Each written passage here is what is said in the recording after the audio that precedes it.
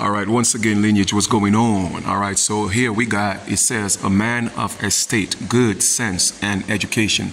Alexander Hamilton, physician and writer, describing Francis William in 1744. Now, pay attention to the date 1744, right? Now, this is the gentleman right here, okay? This is um, Francis William. Now, once again, I tell people when you study history, you have to study history from what's called a conductive reasoning perspective. What does that mean? It means that his story is not going to tell you the entire truth. Now, if slavery was supposedly um, abolished in the late 1800s, how is that a man of color in 1744 was such a brain coming from Jamaica? So you see, we were lied to. But anyway, let's read, right? It says, Francis Williams, scholar of Jamaica, right? Scholar of Jamaica, about 1745, right? All right, so this is, is his portrait and all that. But let's take a walk around the room and see all of his accomplishment. The man was a scholar, right? Well, uh, uh, you know, I mean, literally a genius. All right. So let's go back here. Let's go back over here. All right.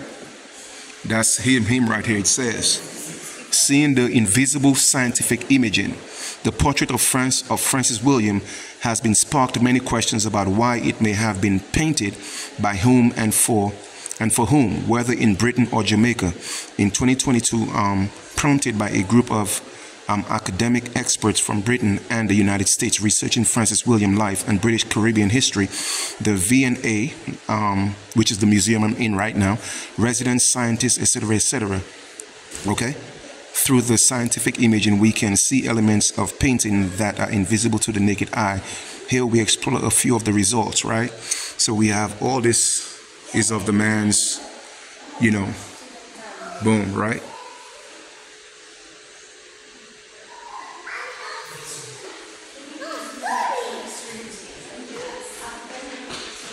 Okay?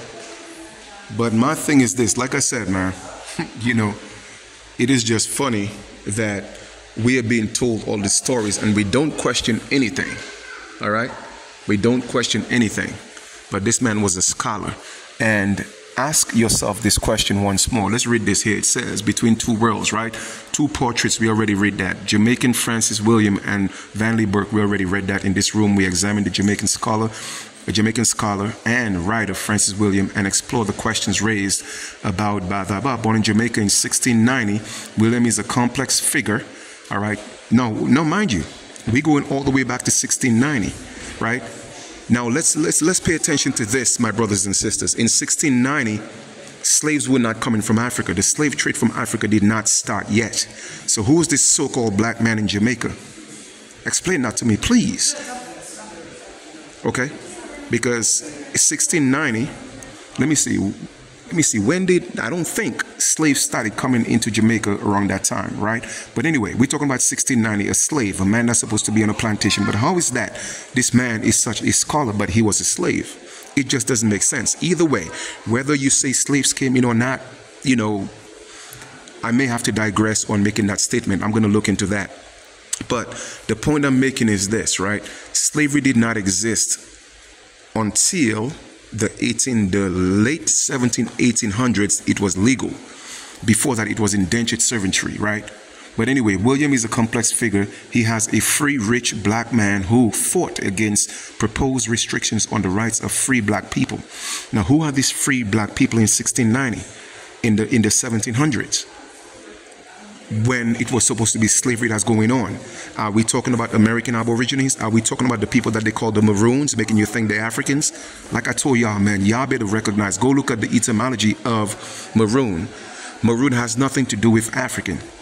Go look at the etymology of Maroon. Yet, they continue to keep enslaved laborers on the estate he inherited from, the, from his father.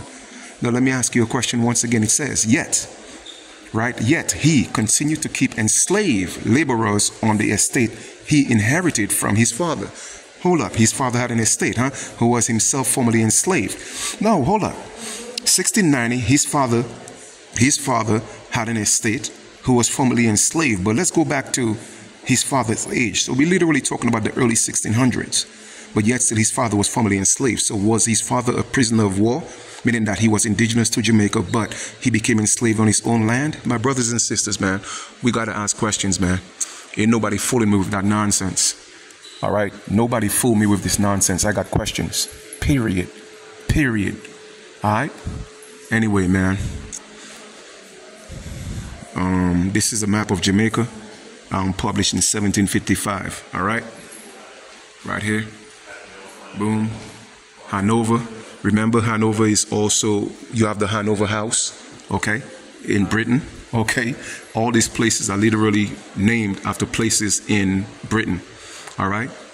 Westmoreland, St. James, St. Anne's, Clarendon, St. Elizabeth. So all these people that went to Jamaica, St. George's, they were people of color, okay, who colonized Jamaica.